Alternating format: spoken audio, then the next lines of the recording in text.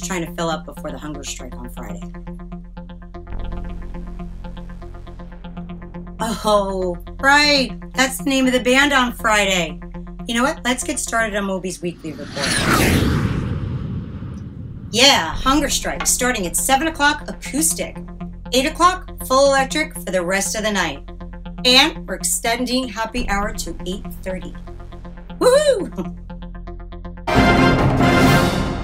Saturday, June 18th, we have Cat House. That's right, Cat House. Stupid cat. They do everything from A to Z, Aerosmith to Zeppelin. Come on down and see the girls. Well, that's it for Moby's Weekly Report.